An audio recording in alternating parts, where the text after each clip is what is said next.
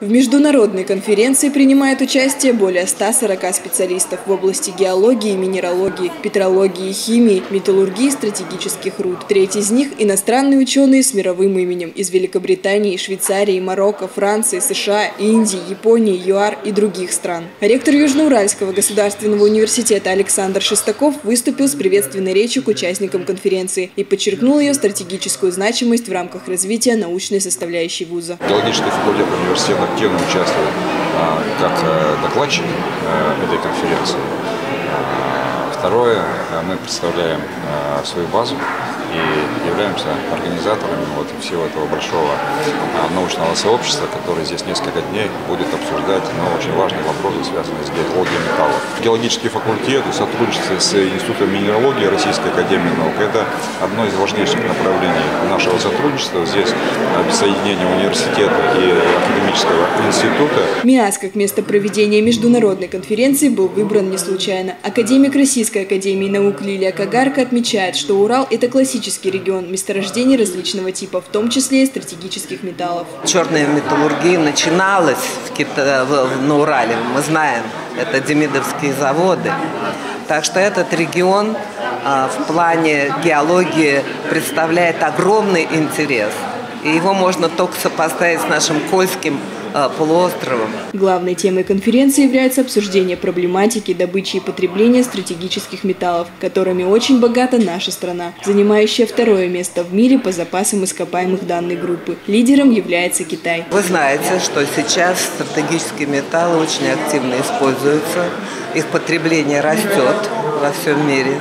И вообще уровень потребления стратегических металлов говорит вообще о уровне экономики стран. Китай который на первом месте по запасам находится, он очень активно развивает свои месторождения и продает уже готовые продукты. Так что нам надо к этому стремиться.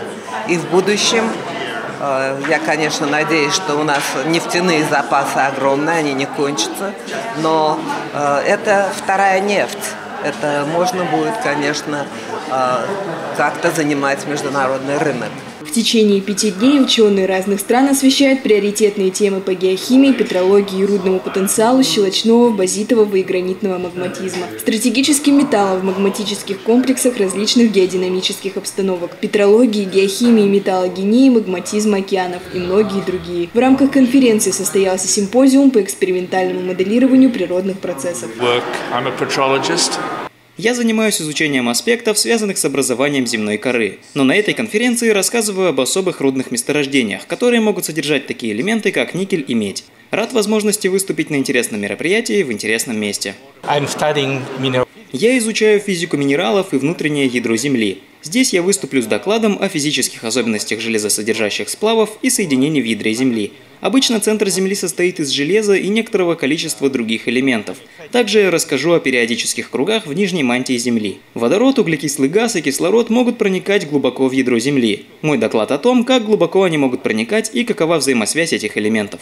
Одновременно с конференцией проходит 11-я международная школа по наукам о Земле имени профессора Леонида Львовича Перчука. Основная цель летней школы – ознакомление молодых ученых с состоянием научных идей в области наук о Земле. В рамках конференции иностранным гостям также продемонстрируют уникальные южноуральские геологические и природные достопримечательности – Ильменский заповедник, Золотую горку, Русскую Бразилию, Медведевское месторождение, Вишнево-Горский массив, а также проведут культурно-историческую экскурсию по старому старому мясу.